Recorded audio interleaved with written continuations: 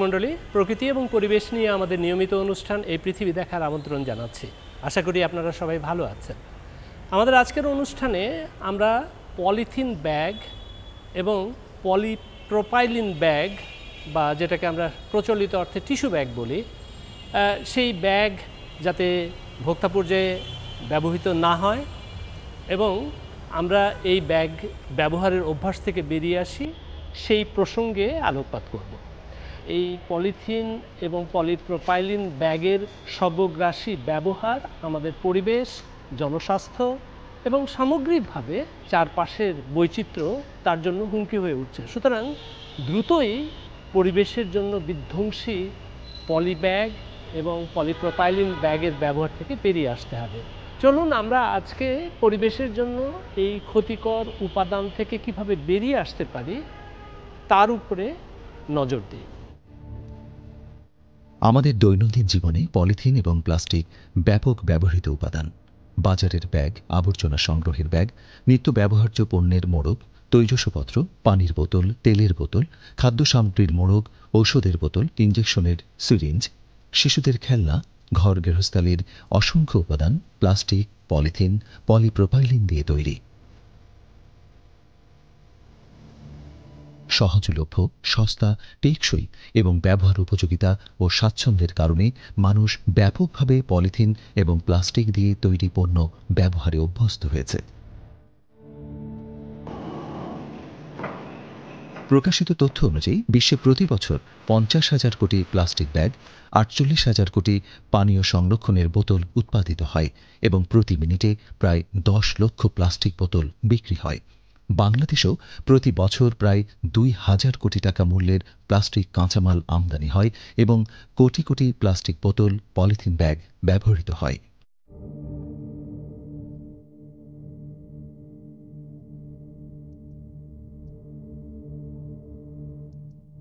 জীবাশ্ম, জ্বালানি তেল বা পেট্রোলিয়াম থেকে তৈরি রাসায়নিক পলিমার নির্ভর প্লাস্টিক ব্যবহারে বিভিন্ন সুবিধার কারণে এর ব্যবহার দ্রুত বাড়ছে। একই সাথে পরিবেশে প্লাস্টিক পণ্যের বর্জ্যও বাড়ছে। অপচনশীল হওয়ায় দীর্ঘমেয়াদে বর্জ্য হিসেবে ফেলে দেয়া প্লাস্টিক দ্রব্য এবং এর ক্ষুদ্র কণা বাতাসে, জলে, স্থলে, এমনকি পর্বতচূড়ায়ও অবাধে বিচরণ করছে। প্লাস্টিক বর্জ্য ভেঙে ক্ষুদ্র ক্ষুদ্র হয়ে যেতে দীর্ঘ সময় দরকার হয়। পুড়িয়ে প্লাস্টিক ধ্বংস করলে মারাত্মক ক্ষতিকর গ্যাস পরিবেশে ছড়িয়ে পড়ে। অব্যাহতভাবে ব্যবহার বেড়ে চলা এবং সুষ্ঠু ব্যবস্থাপনার অভাবে আমাদের চারপাশের জমি, খাল, নালা, নদ, নদী, সমুদ্র সবখানেই প্লাস্টিক বর্জ্য জমছে। এই খালে আগে নৌকা চলতো, ঠিক আছে? বহুত আগের থেকে নৌকা চলতো। অনেক আগে এই খালটা বন্ধ হয়ে গেছে। অনেকবার চেষ্টা করছে, তারপরে এই খাল চলাচল করতে পারে নাই। এগুলো আগের মতন যাতে চলাচল করা যায়, সেই ব্যবস্থা যদি হয়, এই প্লাস্টিক এগুলো যাতে খাল ময়লা আবর্জনা যাতে পরিষ্কার হয়ে যায়।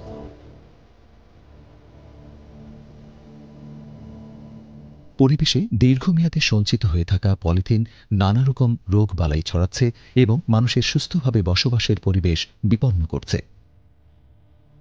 আগে যেমন বর্ষার মৌসুমে আমরা দেখেছি, এই খালটা এই খালটা দিয়ে নৌকা এসে আমরা এই ঘাটে নামতাম। এখান থেকে মালামাল সহ এখানে চলে আসতো ওপার থেকে, আর, এবং সেই সাথে চলে যেত গোলাম বাজারে। আর বর্তমান প্রেক্ষাপটে যে হালত, এই হালত দেখলে এখান দিয়ে যদি বাইরের কোনো ফরানরা আসে, নাকে মাস্ক পরে বা রুমাল বেঁধে যেতে হবে এত দুর্গন্ধ এখান থেকে ছড়ায়। আর এই বিঘ্ন ঘটার প্রধান কারণ হলো বিভিন্ন প্লাস্টিক এবং পলিথিনের কারণে এখন স্তব পড়ে গেছে, পানি যাওয়া আসা করতে পারে না।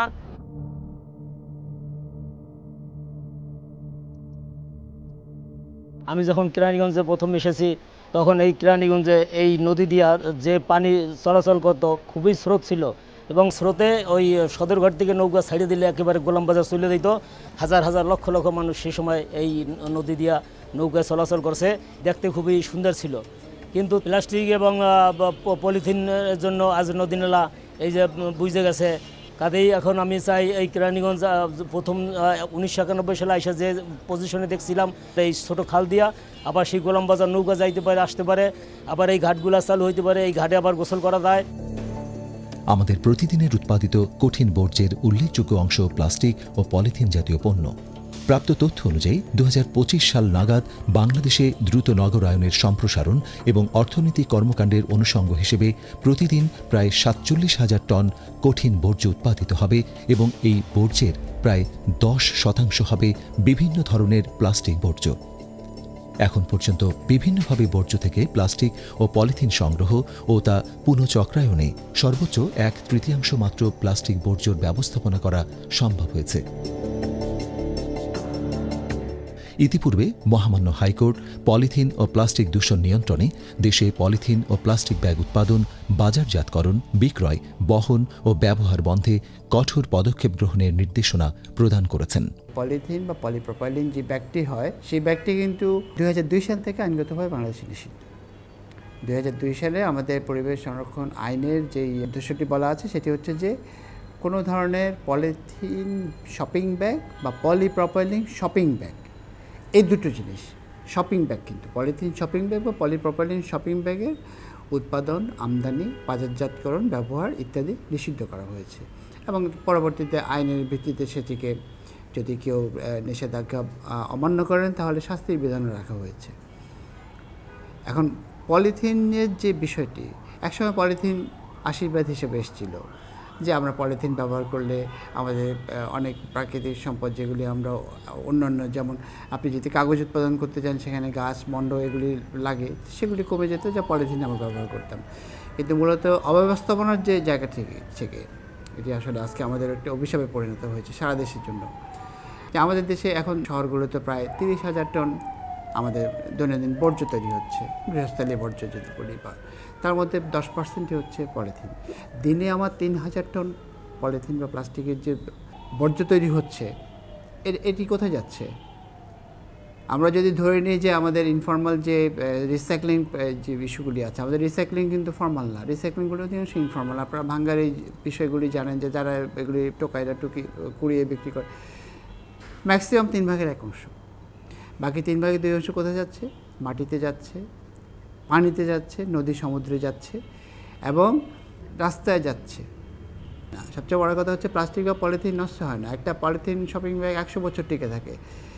একটা প্লাস্টিকের স্ট্র যেটি দিয়ে আমরা ইয়ে করে, সিপ করে খেয়ে নিই, সেটি প্রায় হিসাব করা হয়েছে চারশো বছর ধরে এটি নষ্ট হয় না।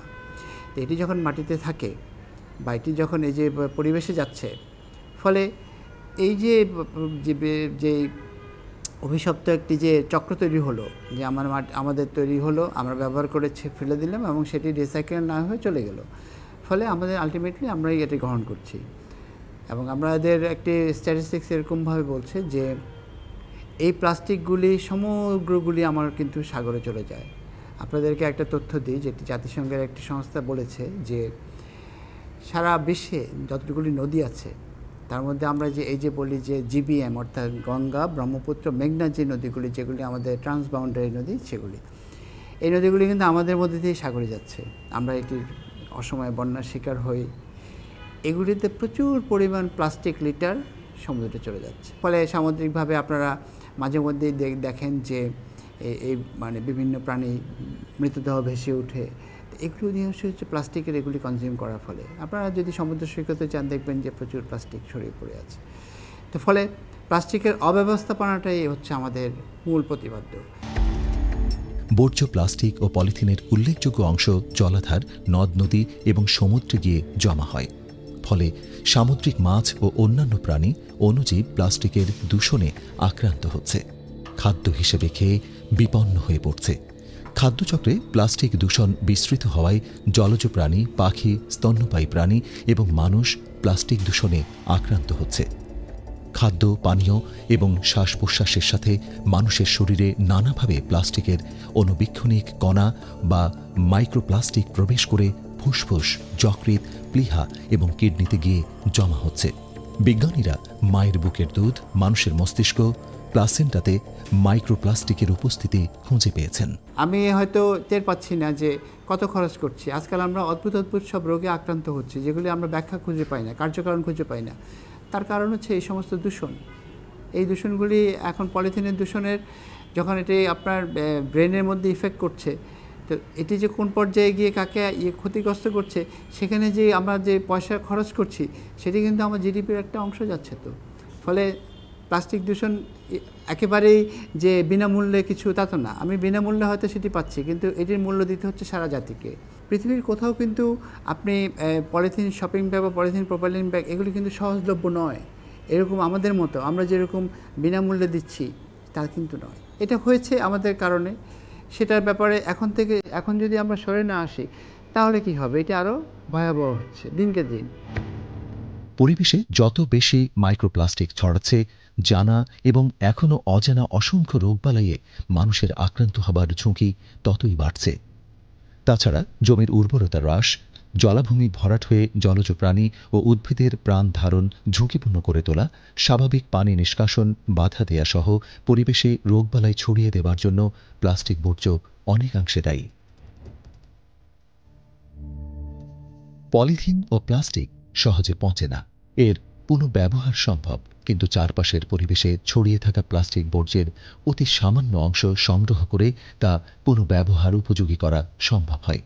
তবে আধুনিক প্রযুক্তি ব্যবহার করে আমাদের দেশেও এখন প্লাস্টিক পণ্যের রিসাইক্লিং ও লাভজনকভাবে পুনর্ব্যবহার শুরু হয়েছে।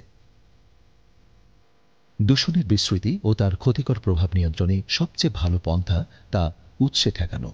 সে কারণে পলিথিন উৎপাদন, বিতরণ ও বিপণন রোধ করা এবং ভোক্তা পর্যায়ে তা পৌঁছানো রোধ করার চেষ্টা করা। এজন্য মানুষের অভ্যাসের পরিবর্তন প্রয়োজন।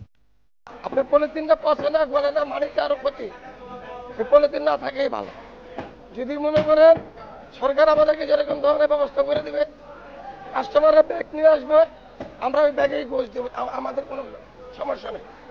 পলিথিন যাতে উঠে যায়, এটাই ভালো। আর ব্যাগ হলে আরও বেশি ভালো।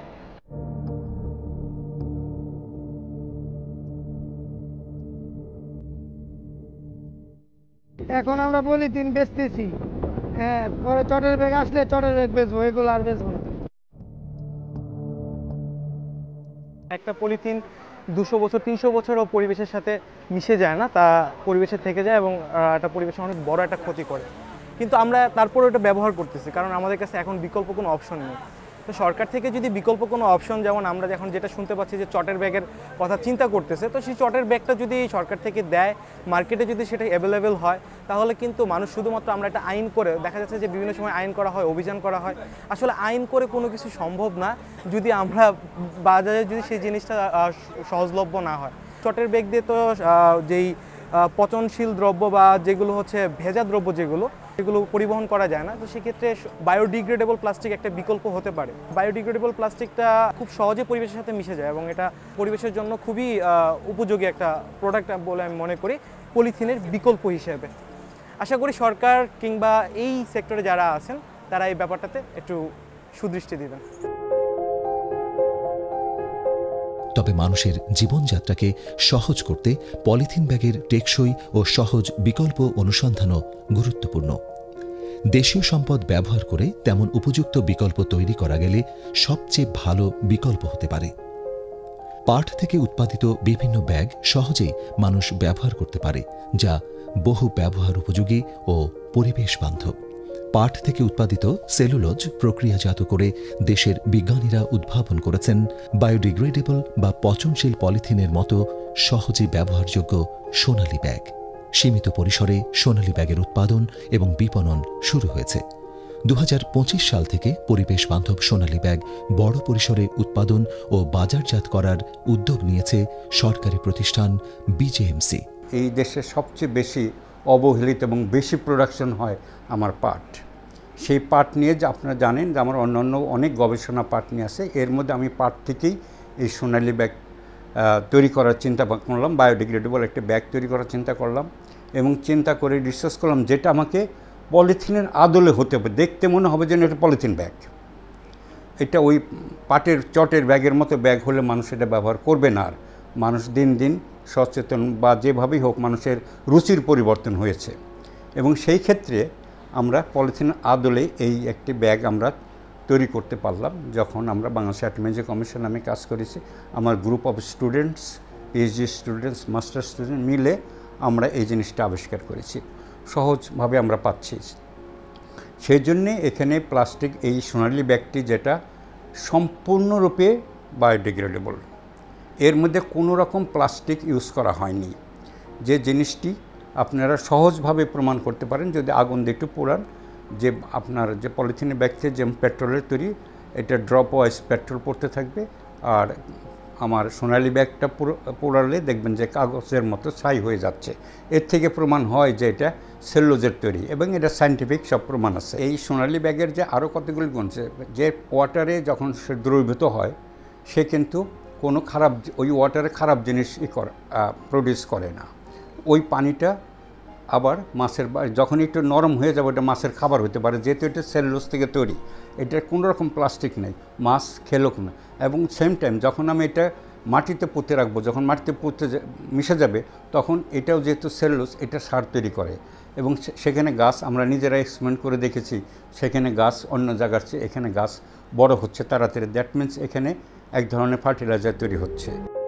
সম্প্রতি সরকার সিদ্ধান্ত নিয়েছে যে পহেলা অক্টোবর দু হাজার চব্বিশ থেকে প্রথম ধাপে শহরাঞ্চলের সুপার শপসমূহে প্লাস্টিক ও পলিথিন ব্যাগ ব্যবহার নিষিদ্ধ করা হয়েছে। পহেলা নভেম্বর দু হাজার চব্বিশ সাল থেকে কাঁচা বাজারেও পলিথিন ও প্লাস্টিক ব্যাগ নিষিদ্ধ করা হবে। এ লক্ষ্যে ব্যাপক প্রচারণা, সাধারণ মানুষকে উদ্বুদ্ধকরণ এবং ভোক্তা পর্যায়ে পলিথিন ও টিস্যু ব্যাগ ব্যবহার নিষিদ্ধ করা হয়েছে। বাজারে পলিথিন ব্যাগের চাহিদা সংকুচিত হলে সরবরাহ সংকুচিত হবে। বাংলাদেশ সরকারের এই উদ্যোগকে সাধুবাদ জানাই যে পলিথিনের পরিবর্তে পাটের ব্যাগ ব্যবহার করার জন্য বাংলাদেশ সরকার আমাদের উদ্বুদ্ধ করছে। পাট বাংলাদেশের সোনালী আঁশ আমাদের এই পাট শিল্পও উন্নতির মুখ দেখবে। নিশ্চয়ই আমরা অনেক উপকৃত হব দেশের শিল্প অনেক উন্নত হবে।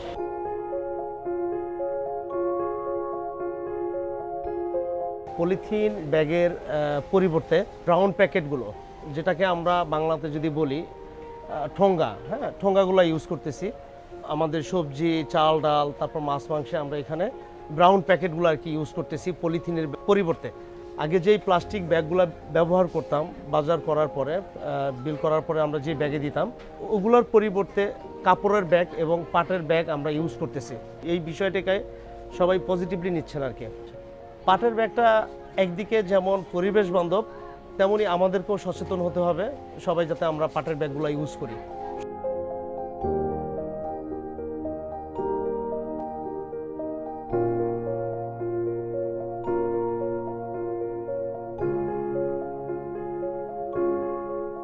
দেশে প্লাস্টিক ও পলিইথিলিন শিল্প স্থানীয় মানুষের কর্মসংস্থান এবং রপ্তানি আয়েরও গুরুত্বপূর্ণ উৎস।